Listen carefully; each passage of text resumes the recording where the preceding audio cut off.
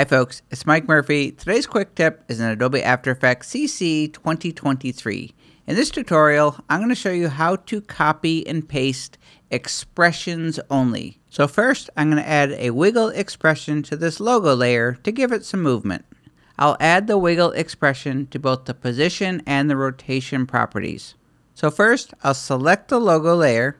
I'll tap on P for position, then I'll press the Shift key and tap on the letter R to bring up the rotation property.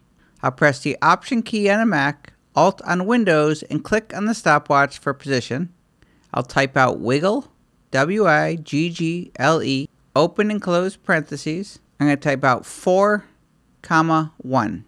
I'll copy that wiggle expression as I'm going to add it to the rotation property. Then I'm going to press the Option key on a Mac, Alt on Windows, and click on the rotation stopwatch. I'll paste in that wiggle I'm going to change it to 3 comma 1 for this one. I'll click off, tap the spacebar, and now we've got a little wiggle to that M logo in the top right corner.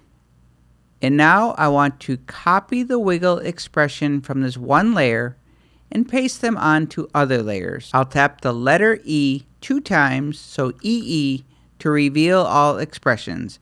First, select a property that has an expression on it. So in our case, it's either the position or the rotation property. So first, I'll select the position property. Then I can go up to the top menu, click on Edit, Copy Expression Only.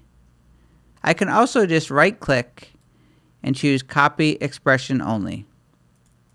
If you only have the layer selected and not a property that has an expression on it, when you go to the Edit menu, you'll see that Copy Expression Only is grayed out.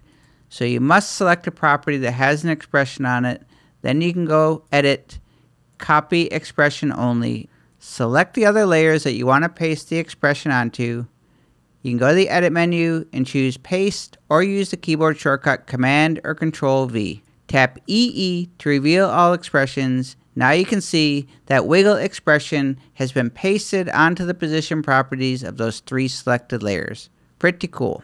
I'll do the same for the rotation property. Select rotation property, right click, copy expression only. I'm going to select the other layers. I'll click the first layer, hold shift, select all three. Now I can use command or control V. I'll tap EE to reveal all keyframes. Now you'll see we have the two different wiggle expressions on the position property and rotation property for all the layers. And if you want to copy the expression only from one property, such as position, but paste that expression onto another property, such as scale, well first I'll select the position property, right click and choose copy expression only.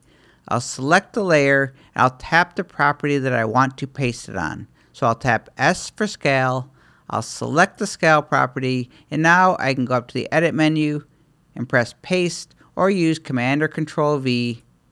And if I tap EE to reveal the expressions, you'll see that the wiggle expression that I copied from the position property was now pasted onto that scale property. And that is how to copy the expression from one layer and paste it onto multiple layers in Adobe After Effects CC 2023. My name is Mike Murphy. Cheers.